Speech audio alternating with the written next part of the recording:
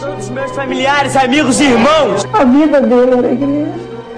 A vida dele era Jesus. Ele vivia 24 horas por dia pensando nas coisas de Deus. Ele, ele, ele vivia Jesus na vida dele. Dia seguinte, Lucas não volta para casa. Preocupado, o pai dele decide ir atrás do adolescente. Lucas se encontrava aqui na frente da igreja do bairro Santa Cruz.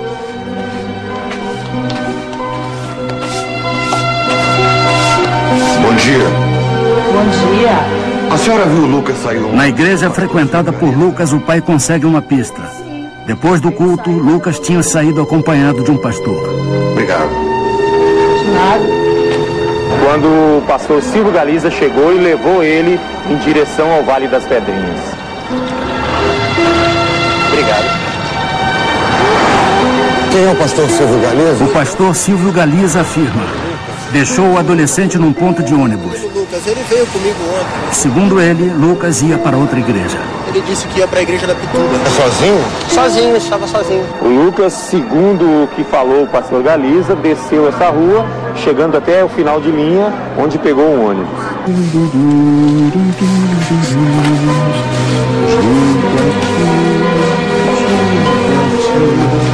Pastor, o Lucas esteve A aqui. busca do pai de Lucas continua.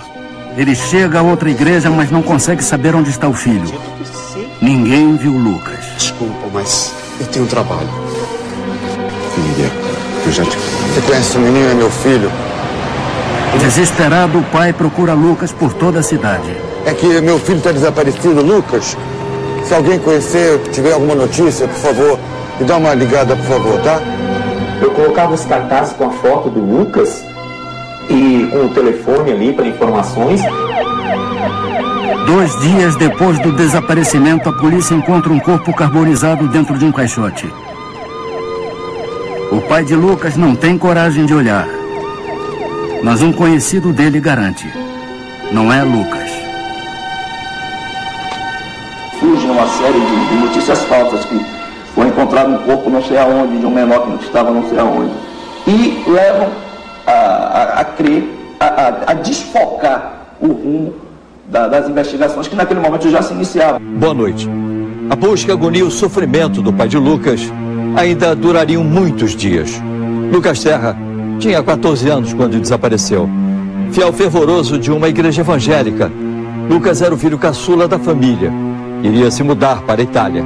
Antes de viajar, Lucas e o pai foram à cidade de Salvador para se despedir de amigos e parentes. Na noite do desaparecimento, Lucas telefonou para o pai e disse: Estou com o pastor Silvio Galiza. A partir daí, Lucas nunca mais deu notícias. Se ele está sumido, quem tem que dar conta dele é o pastor Silvio. O pai de Lucas vai mais uma vez à igreja em busca de informações sobre o paradeiro do filho. Aleluia, aleluia. Ele procura o pastor Silvio Galiza. A primeira vez ele disse para mim que deixou o Lucas no fim de linha do bairro do Vale das Pedrinhas. Depois eu voltei lá novamente, ele disse para mim, ah, eu deixei o Lucas na Ceasa, no Rio Vermelho, que é outro bairro. Então, o que o som tem? O pastor Silvio Galiza é chamado para depor. Na delegacia, ele dá uma nova versão para seu último encontro com Lucas. Não teria nenhum problema e permiti. Levei até o final de linha no Vale das Pedrinhas e segui o meu caminho para casa. O pai do garoto, ele vai atrás do Silvio Galiza várias vezes. Então, a cada, a cada momento que ele se encontra, ele dá uma desculpa desencontrada. E ele entrou em contradição até nos depoimentos. Ele mente o tempo todo. A mãe de Lucas já estava morando na Itália e esperava a chegada do marido com um filho. Até aquele momento, ela não sabia do desaparecimento do caçula. Teve um dia que eu até perguntei para minha esposa, olha, eu quero falar com o Lucas. Aí ele chegou e me falou, olha, o Lucas está na igreja, não está em casa. E ele falou, agia normalmente comigo, não tinha coragem de me contar que ele havia desaparecido. Doze dias depois do sumiço, o pai de Lucas ficou sabendo por um laudo da polícia que o corpo encontrado carbonizado dentro de um caixote era do filho. O pai do adolescente é chamado para reconhecer alguns objetos do filho. O laudo médico traz uma dolorosa revelação. Meu filho foi queimado vivo. Eles fizeram a fogueira santa não com os pedidos de oração dos fiéis. Eles fizeram a fogueira santa com meu filho, com Lucas Terra, uma criança inocente, uma criança pura. É isso que me revolta. Porque ele gosta tanto de vestir terno, gravata, eu quero vestir ele assim. Senhora não tem como vestir o Lucas. Porque ele foi carbonizado, ele foi queimado. Ai, meu Deus.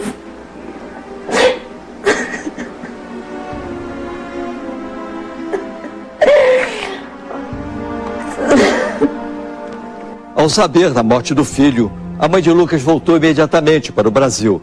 Desde então, os pais lutam para descobrir o que aconteceu com Lucas Terra. Nossa vida tem sido atrás de justiça, atrás de, de, de solução para esse crime. A gente não está com esse crime solucionado ainda. Você vai ter agora como foram os três últimos meses de vida do adolescente Lucas Terra.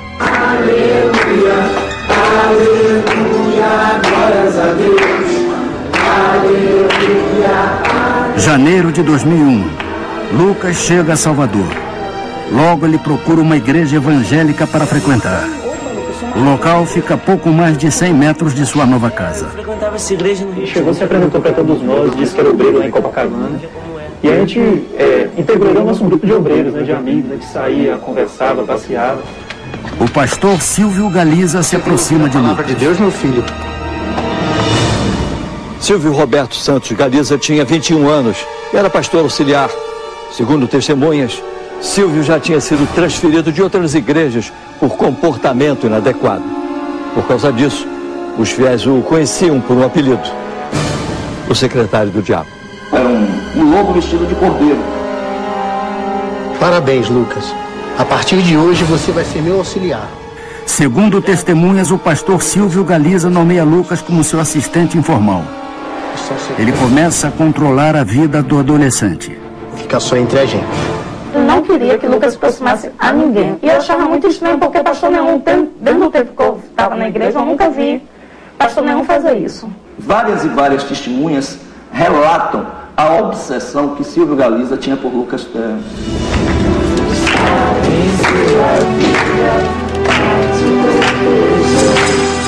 Fevereiro. Lucas se apaixona por uma jovem da igreja. E foi a primeira paixão dele, a- a- o primeiro amor. Né? Ele nunca tinha namorado. não- E aí o pastor proibiu ele de namorar, que ele não podia namorar. E a gente começou a perceber que ele se incomodava em ver Lucas caminhando com as meninas. Então, praticamente o Lucas vivia lá a ele. Fim de fevereiro. O pastor Silvio Galiza chama Lucas e um amigo para trabalhar à noite. Ele convida os adolescentes para dormirem na igreja. Como ficou tarde, ele pediu para ficar. Eu achava que o lugar mais seguro que meu filho poderia estar era na igreja, na companhia dos bispos e pastores dessa instituição religiosa. O pastor Silvio Galiza separa os amigos. Ele leva Lucas para dormir com ele na mesma cama. O Lucas falava para a namorada dele, para os colegas obreiros, né, jovens na igreja, que o pastor sempre convidava ele para dormir na igreja e para ficar mais tarde. Sempre convidava. Mas eu não sabia. Os superiores descobriram que o pastor Silvio Galiza tinha dormido acompanhado de Lucas. Ele foi transferido para uma outra igreja. Mas Silvio Galiza continua a frequentar os cultos da igreja antiga. Silvio Galiza continua a frequentar os cultos da igreja antiga. 21 de março, 9 horas. Depois do culto, o pastor Silvio Galiza vê Lucas com a namorada e amigos. Ele interrompe a conversa. Aí eu perguntei, Lucas, você vai pra onde? Ele fez, eu vou ali. Eu ali aonde? E ele continuou dizendo, eu vou ali. Eu falei, Lucas, eu não te digo nada, você não conhece nada aqui em Salvador. Uma hora dessa, você vai pra onde? E ele mesmo ainda assistindo, eu vou ali. Aí o pastor Silvio me olhou de cara feia. Lucas deixou os amigos e a namorada, desmarcou o compromisso que tinha com outro amigo e obedeceu ao pastor Silvio Galiza. Junto com ele, seguiu um outro pastor auxiliar. Era a noite do desaparecimento de Lucas Terra. É, segundo a- a- os colegas do Lucas, né, os obreiros e obreiras, é, desta igreja, ele tinha uma atitude dominadora sobre o Lucas. Eu não sabia, não era do meu conhecimento, que ninguém me dizia, nem Lucas falava, né? É, porque ele era muito obediente, ele acreditava muito na, na, na igreja em si, é, é, nos pastores e bispos dessa igreja. Pai o Senhor, irmão. Graça e paz. Vá na bênção de Deus, irmão. Amém. Lucas, meu filho, foi muito bom te conhecer. Igualmente. Num lugar conhecido como Vale das Pedrinhas, o pastor auxiliar se despede. Ou o ônibus, Lucas, vamos? Lucas e o pastor Silvio Galiza pegam um ônibus.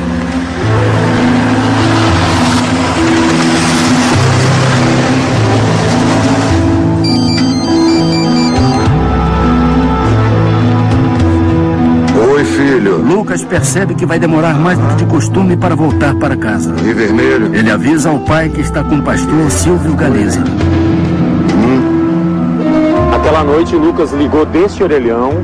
Segundo Lucas, estava acompanhado do pastor Galiza, que é, trouxe ele aqui para esse bairro, o Rio Vermelho, para a igreja fazer um propósito de oração. O último telefonema de Lucas para o pai foi dado precisamente às 10 horas, 9 minutos e 59 segundos. A ligação ficou registrada no celular. O pastor Silvio Galiza se encaminha até o templo da igreja, que fica no Rio Vermelho. Só que antes, ele passa por uma loja de conveniências, um posto bem próximo à igreja. Nisso, enquanto ele está na loja de conveniência, o garoto liga para o pai e diz ao pai que vai dormir na igreja, no templo do Rio Vermelho, com o pastor Silvio Galiza. A partir daquele momento não se sabe precisamente o que aconteceu com Lucas, mas a perícia concluiu que houve uma tentativa de asfixiá-lo. Em seguida, ele foi queimado vivo. supõe a partir daí ele levou este garoto para a igreja e lá ele certamente deve ter praticado atos de violência sexual contra essa criança. Por que digo ato de, sex, é, de violência sexual? Porque o, o- o corpo do garoto ele é encontrado totalmente carbonizado. E o laudo de exame cadavérico, os peritos médicos legais, não tiveram condições de determinar a causa da morte, muito menos se houve ou não violência sexual.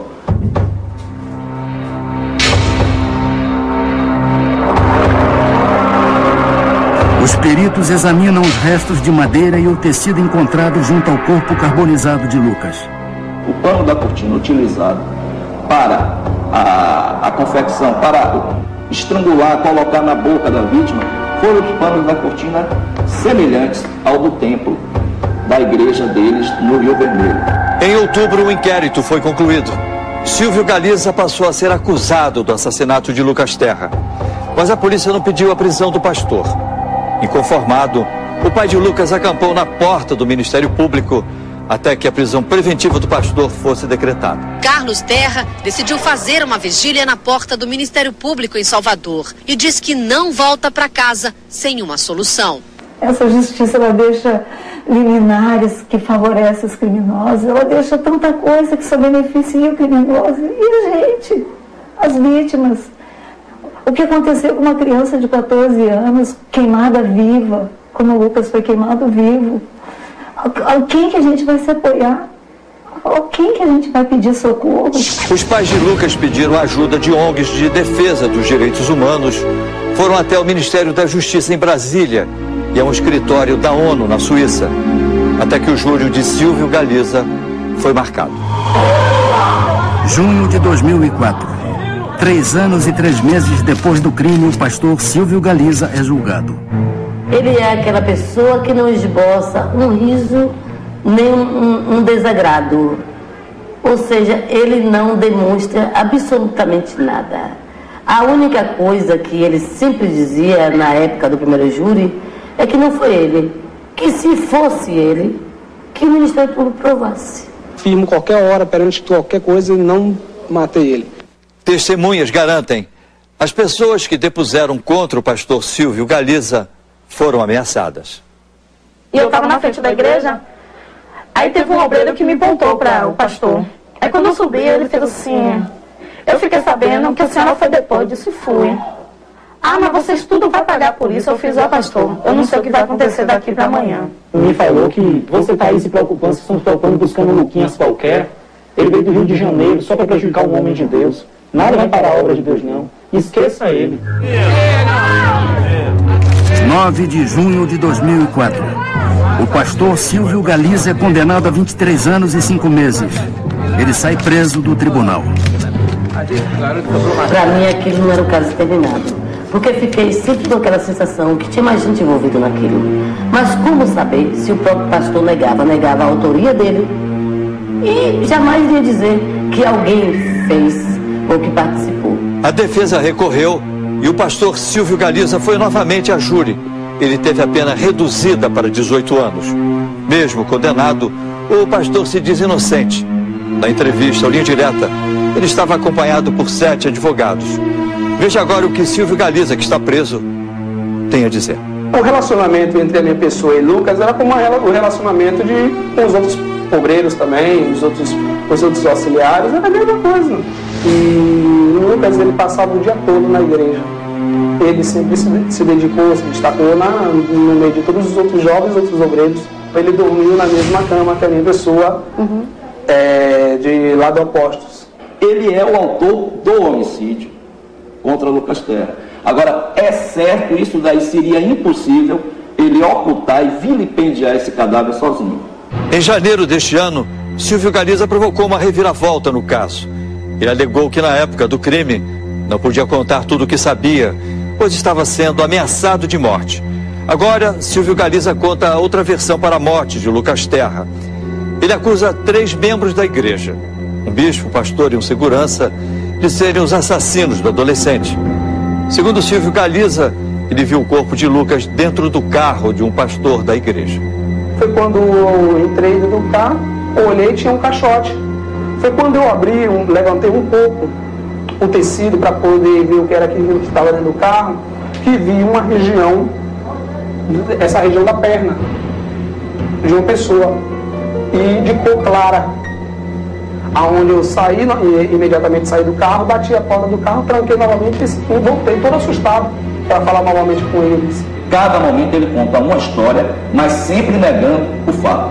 Todos eles me ameaçaram, ameaçaram a minha família, até eram, é, deram um, um tapa no, na caixa do meu espelho. Disse que se eu não segurasse tudo, era, eu, eu morreria, se minha família morreria. O que ele não explica é como é que o garoto saiu do, da, da loja de conveniência que é em frente ao templo e foi parar em outro local como ele quer fazer crer. Creio eu que essas pessoas que ele indicou tenham sido, sim, os seus comparsas na ocupação e no vilipêndio ao cadáver do menor. O Linha Direta procurou a Igreja Universal em Salvador. Ela não quis se pronunciar sobre o caso Lucas Terra. Hoje, cinco anos depois, a morte de Lucas Terra ainda não foi totalmente esclarecida. Algumas perguntas continuam sem resposta. Por que Lucas... O Linha Direta procurou a Igreja Universal em Salvador. Ela não quis se pronunciar sobre o caso Lucas Terra. Hoje, cinco anos depois, a morte de Lucas Terra ainda não foi totalmente esclarecida. Algumas perguntas continuam sem resposta. Por que Lucas Terra foi assassinado? O pastor Silvio Galiza teria cometido o crime sozinho? Se o crime foi cometido dentro da igreja, como ele poderia transportar o corpo de Lucas num caixote até o matagal, sem ser visto por alguém? Silvio Galiza mal sabia dirigir e nem tinha carro. Hoje eu estou muito medicina. Porque acho que é a fase da idade que a gente quer viver. E a gente foi frustrado, foi frustrado. E até hoje, sou uma pessoa frustrada. Sem expectativa da vida. Até hoje, o pai de Lucas não consegue esquecer a última vez que viu o filho. Já foi, meu pai. Fica com Deus. Ah, se eu pudesse voltar atrás dessa noite, antes dele sair, ele me abraçou e me beijou e disse: Eu já vou, meu pai. Um beijo, fica com Deus. Como eu me arrependo de não ter segurado ele, não ter abraçado ele naquele momento. A gente não tem, tem procurado de Deus a força para poder continuar, porque a gente não vai desistir. Acho que para nós, como pais do Lucas, é uma questão de, de, de honra, de, de de amor, de, de uma urgência de amor. Eu vejo essa criança tão linda que é. Eu não consigo entender como é que um ser humano tem coragem, uma pessoa que se diz um pastor de uma igreja, tem coragem de fazer o que eles fizeram com Se você tem alguma informação que possa ajudar a polícia a esclarecer o assassinato de Lucas Terra, ligue para a linha direta. Rio de Janeiro 2547 9040. Suas informações serão levadas às autoridades e sua identidade será mantida no mais absoluto sigilo.